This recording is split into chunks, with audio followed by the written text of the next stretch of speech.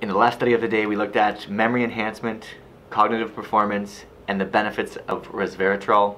Today we jump into a study that looks at the burden of depression and how curcumin can be used to alleviate. Stay tuned.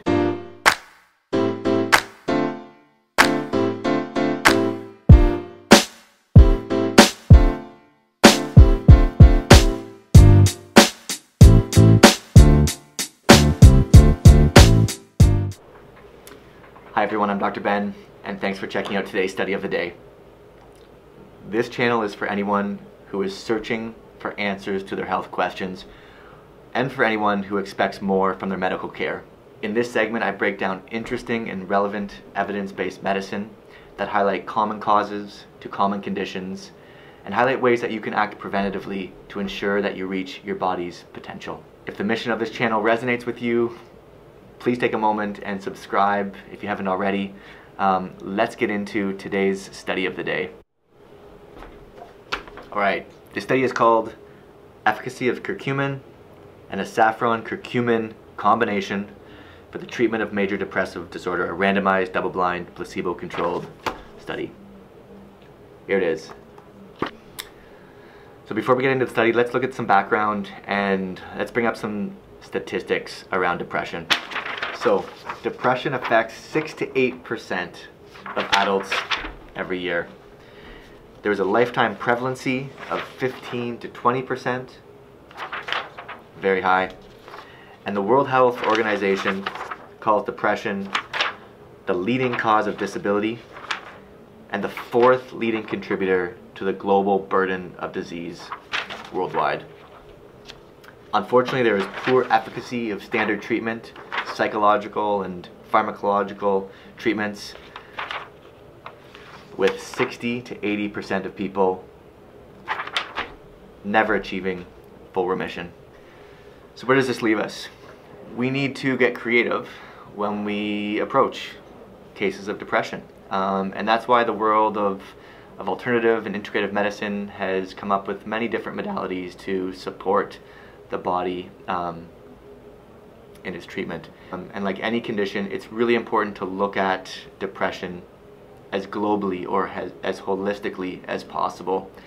And, and this study just highlights one physical treatment, one natural health product that has been found to show promising results um, in the treatment of depression. This was a 12-week randomized placebo-controlled trial with participants being broken into four groups, placebo, low-dose curcumin, high-dose curcumin, and a combination of saffron and low-dose curcumin. All right, so let's look at the results of the study. They were pretty spectacular. Um, I think for the, the purposes of this review, I'll break the results into two categories. One, they looked at depression symptoms, and two, they looked at symptoms of anxiety. And I'll, I'll flash up the results here as we go through it. But the analysis of the response rates revealed that 13% of people in the placebo group um, showed a response, whereas 28% in the active treatments showed a response. So 28% in the high dose curcumin, 27% in the low dose curcumin, and 31% in the low dose curcumin and saffron. So 13% in the placebo versus 28 to 30% in the in the treatment with curcumin groups. Pretty pretty significant difference there. In addition to the depression symptoms resolution that they found with curcumin treatments, um, they also found that the curcumin treatments also decreased anxiety significantly. Alright, so these results add to the growing body of evidence that support the use of curcumin for both depression and anxiety. Um, it's important to keep in mind that the doses used here were 250 milligrams and 500 milligrams uh, two times per day. Um, so when you're when you're looking to talk to a healthcare practitioner about how you can use curcumin to support anxiety or depression, keep those doses in mind. The differences again in response rate were, were alarming. 13% of placebo group responded, 28 to 30% of the treatment group responded. And response rate was determined by a greater than 50% decrease in depression symptoms. Alright, so as you can see, this study is, is showing the efficacy of, of curcumin for the treatment of both depression and anxiety. This is the fourth clinical trial now, placebo-controlled, randomized trial to show the benefits of curcumin in the treatment of depression and anxiety. So there's a lot of good evidence backing the use of this natural health product. Um, the good news is if you do decide to incorporate um, curcumin into your lifestyle, there are many other benefits that come along with its use.